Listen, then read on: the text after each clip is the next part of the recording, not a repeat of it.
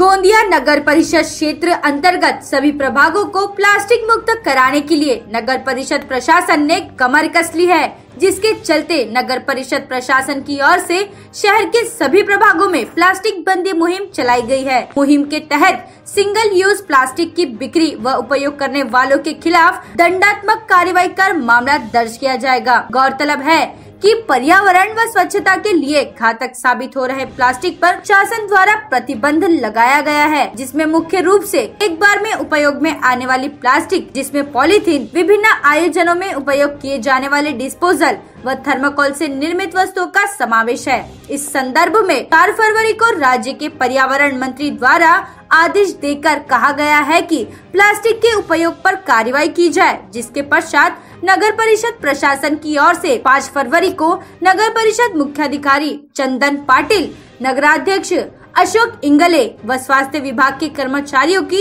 एक विशेष सभा का आयोजन किया गया। इस सभा में नगर परिषद क्षेत्र को इस माह के अंत तक पूर्ण रूप से मार्गों के किनारे तथा सार्वजनिक स्थानों पर फैली प्लास्टिक को जमा कर शहर को प्लास्टिक मुक्त करने का आदेश दिया गया। इसके साथ ही प्रतिबंधित प्लास्टिक की बिक्री व उपयोग करने वालों पर शासन के नियमानुसार कड़ी कार्रवाई करने का मामला दर्ज किया जाएगा, जिसके लिए शहर के प्लास्टिक विक्रेताओं के साथ साथ लॉन, सभागृह जैसे स्थानों पर होने वाले विभिन्न आयोजनों में उपयोग किए जाने वाले डिस्पोजल, थर्माकोल का उपयोग करने वालों पर कार्रवाई होगी। B S crime India news की रोज़ाना खबरों के लिए YouTube channel website Facebook Twitter Instagram पर लाइक कमेंट और शेयर करें। साथ ही यूट्यूब पे हमारे चैनल को सब्सक्राइब कर बेल आइकन दबाना ना भूलें और गूगल प्ले स्टोर से B S crime India news app को डाउनलोड कर रोज़ाना खबरों के लिए हमसे जुड़े रहें।